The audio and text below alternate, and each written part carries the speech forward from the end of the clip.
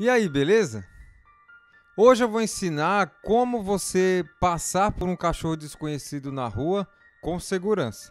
Esse sábado agora eu fui visitar minha namorada. Eu tava subindo a rua da casa dela à noite, escuro, tudo escuro.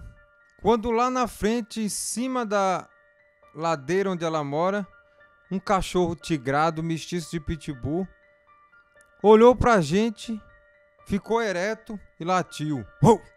Eu peguei minha bolsa, minha mochila que estava nas costas, coloquei na mão, botei do lado e fui andando.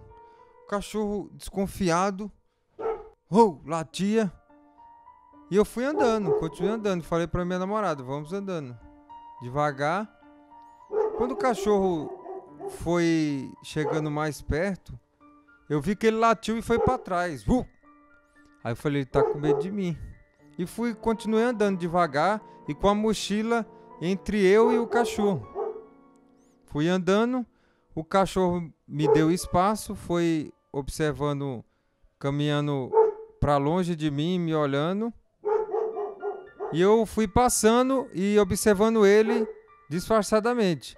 Porque se você olhar assim, ó, você tá chamando o cachorro para briga, você tá afrontando ele. Você tem que olhar mais disfarçadamente. Eu fiquei calmo, como sempre eu fico. Fui passando calmo, olhando para ele de vez em quando. Só que a visão periférica sempre ligada, né? Observando ele. Fui observando, passando. Ele olhou para mim e desceu a rua.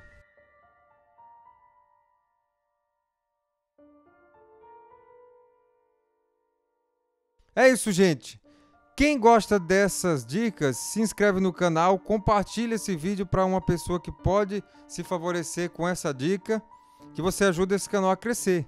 E conte para os seus amigos que existe esse canal. Se você gosta de cães, você também conhece outras pessoas que também gostam dos cãezinhos.